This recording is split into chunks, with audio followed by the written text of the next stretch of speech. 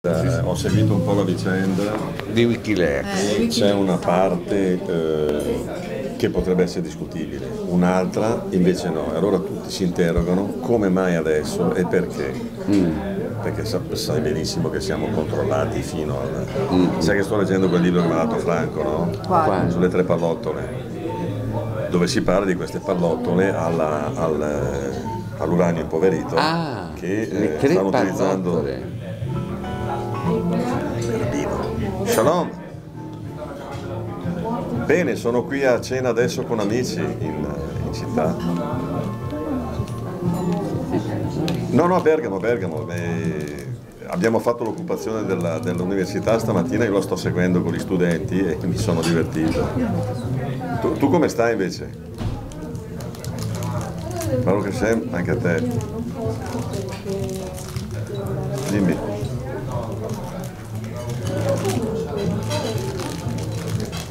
A che ora? Eh, ma devi montarlo completamente o? Quando? Ma lui Salomè non c'è oggi. No, non c'è. Quando chiama il Rav sai che io devo sempre venire. Sì, li avrei ma non importa, li, li sposto. non c'è problema. Ci vediamo domani mattina. Vabbè, Nove e mezza? Cioè nove, nove e mezza? Va bene. A te, Baruch Hashem. Lo sapevo, bisogna montare il candelabro. Mi chiama sempre il giorno prima. Però quando il rabbino chiama io come faccio a dire? Non posso dirgli ho impegni se non ne ho, non, non, non Stavo dicendo l'occupazione eh, L'occupazione sta continuando. anche domani, eh? Eh sì, perché eh, non so se è stata approvata la legge sta- oggi La pomeriggio. passavano oggi. Però-. Allora mi devo attrezzare perché se pioverà dovrò stare tutto, sai che si sta all'aperto, a Piazzale Cadorna, Ma quando è? Perché domani sera si accendono. Ah, E quindi entro domani sera, cioè dobbiamo montare un affare di 7 metri che pesa 400-500 kg in alluminio. Domani. ma quanti volontari ci vogliono? L'ultima volta ero da solo. E io e lui, solo io e il rabbino. A che ora? Ah, 9, 9 e mezza. Di cose, cioè io di occupazione. Ah, ah. No, adesso mi ha chiamato e fa, eh, si vede che cioè, su 8500 ebrei che ci sono a Milano, deve chiamare uno a Bergamo. Ah, per andare a Milano. E certo, cioè, non ci sono su 8500 qualcuno che va là a aiutare a montare il candelabro? Cioè io e lui l'abbiamo montato e modificato, quindi io so come è fatto perché l'abbiamo Ah, eh, sistemato insieme. Temo di sì. Però lui con me, insomma, il, il- il padre, lui è sempre gentile, è il padre che non, eh, che non ha un buon feeling con me, cioè ah Shalom. quello anziano, eh. Eh, invece Rav Michel è sempre stato, Sempre stato- lui ha- mi appoggia, ma il padre? Come mai? Ma mica per quella storia dell'involuzionismo. No, è proprio per me che riguarda Franco. Ah, Ah, perché, ah, perché Franco non sta salvando. infatti Io l'ho difeso, eccetera, eccetera, quindi Ah, Eh, vabbè. Marcolino. È un'altra generazione il Franco, no, Franco non ci va più, infatti. Eh, infatti me l'ha detto. Però beh, domani glielo dico, guarda Ma che Fra- sono... Franco io trovo carino alla fine. Eh? È speciale ma è carino Franco. È matto, è matto. È matto. Matto perché- da legare. Ma è buono, dai. Certo, ma è matto. Quindi Ma lui, ieri... Eh. quando al Tempio andava in giro con la cannuccia a bere il vino delle persone che Ah. sono in sede, che è stato richiamato da Simi e gli ha detto guarda che sono persone che non vengono più perché tu fai sta cosa, ho offeso lui, ho offeso loro. Ha confuso Cianucà con Cannuccià. Ecco. Beh, ieri, ieri ci voleva appunto convincere ad andare a Milano. E E dice, domani "Ah, lo vedrò. Venite quando, venite quando, no? Mi fa. "Ma, eh, venite a che ora arrivate alla stazione? Dico, guarda che io ho la macchina. Mi fa, no, ur- ha cominciato a urlare. "No!" Urlava che si sentiva. E io, io mi sono, io sono scoppiata a ridere perché ho detto, Sai della, della, della mica che mi ha presentato, siamo alla banca di cognome. Eh Sì, Gli ho detto guarda che parlava della banca, ha preso il mio libro, ha cominciato a dar fuori la mano che ho detto la banca, ma porca miseria, ho detto guarda che è il cognome, tu non sai.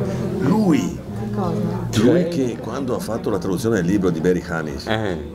Eh che mi ha dato il manoscritto da nascondere a casa, una mattina si è ritrovato il computer oscurato. Ah, già. Gli ho detto stai attento, stai attento perché tu continui a fare così. A te non possono fare nulla perché Certo. essendo ebreo chiaramente no. Mi hanno oscurato tutto. Ma cosa è successo? Non lo so, che cosa ti ha presentato? La banca? Lui ha tra... la No, banca ha un cognome. tradotto. Aveva detto c'è questa Eh sì, allora lui... amica che mi ha presentato Marco, si chiama la banca, perché io non so il nome, non lo ricordavo. Eh, Che cosa dici la banca? Lo sai? È come quando con mio cognato pronuncio la Libia e Tripoli. Vabbè, ma porca miseria, solo io lavoro in Libia, io cosa ci posso fare? Cioè, Ah, ha cominciato a urlare per il, no- il cognome. Per i nomi, guarda che ci controlla. Lui che dice a me si controlla, lui. Che gli hanno oscurato il computer una mattina. Sai vuol dire oscurato? Non, non, non, non riuscivo più neanche a Eh, sentire. perché gli erano oscurati? E prova a Non sai indovinare. cosa è successo? Eh, per il libro di Barry Kamish. non lo so.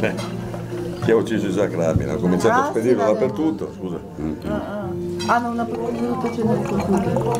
Hanno Eh, beh. oscurato. Cioè, gli Proprio, israeliani eh, hanno una tecnologia che, che ti possono anche fermare l'automobile in... Non so se è presente l'ultimo attentato che ha fatto a Gaza. Cioè nessuno sa come è successo perché non ha sentito né missili né esplosioni. C'è stata una decomposizione, una destrutturazione di tutto il materiale. Si è destrutturato l'automobile, infatti adesso nel libro che mi ha dato Franco macchina- c'è indicata sta roba, no? È un ma- unmade... E si chiama Tripallottole? Il, il titolo del libro sì, poi te lo darò da leggere. Ma di chi, chi l'ha scritto? Ehm. Che a me non mi ha detto niente. Sì, ma è sulla fusione fredda, quindi è tutto un discorso che riguarda la, eh, principio della fusione fredda, no? dal 1800 1989, eccetera, eccetera. Sono queste riviste del 35 che devo recuperare in tedesco e eh, parla di questo materiale, di queste nuove armi che in effetti non, non servono più le fissioni atomiche, le armi atomiche sono delle, delle sciocchezze, ed è vero. È cioè. un materiale che si autodistrugge? Cioè praticamente È un eh, materiale, eh, resiliente. immette un sistema, eh, come si potrebbe definire, quasi a eh, risonanza, per simpatia, che eh, destruttura il materiale. Cioè è come se tu avessi questo tavolo, alla fine te lo ritrovi in terra e non a fare così. E questo è- lo stanno già provando, però il Dipartimento americano sta un po' zitto È più perché... della fusione una... Eh, ci si avvicina, allora eh, lui mi fa, devi studiarlo, eh, infatti rispetto al palladio eccetera dovrebbero usare tungsteno, però io no- non, non so entrare ancora in merito perché non ho i, i Ma meriti. perché tu ti sei occupato di queste cose? Nel mio libro sì, infatti me l'aveva suggerito lui, allora Cioè di, di- materiali speciali? sulla fusione fredda.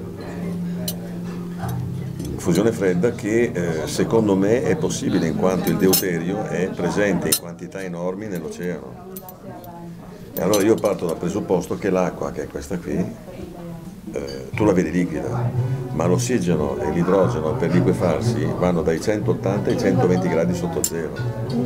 Ora come fa a rimanere liquida? Vuol dire che la struttura atomica è congelata. E allora io eh, ho pensato da, eh, che loro sia fermi, che eccetera, pensavo ci fosse questa colla, no? Perché non riuscivano a capire, la chiamavano bosoni, eccetera. Ma secondo me eh, il ghiaccio funziona come una colla. Certo, non è un ghiaccio come quello che vediamo. Allora, siccome ho supposto che il nucleo del Sole sia congelato eh, nel mio libro, allora sono andato dietro a questa teoria. Allora, secondo me quello che avviene è uno sviluppo di calore enorme che viene trattenuto all'interno di questa eh, condizione di congelamento. Secondo me sono, sono congelati gli atomi. Gli atomi dell'acqua? Sì, sì. Altrimenti il liquido come si forma? Cioè come fa a stare in piedi una struttura del genere? Non può stare in una struttura normale, in quanto per liquefarlo noi abbiamo bisogno di ricondurlo allo stato eh, molecolare, però va compresso. Mentre in questa condizione, se liquefa a quella temperatura, come fa a rimanere liquido così? Scusa. Cioè noi la beviamo tutti i giorni. Motivo? E allora sono, sono supposizioni. E su questo libro si parla adesso di queste pallottole che sono state utilizzate nella guerra dei Balcani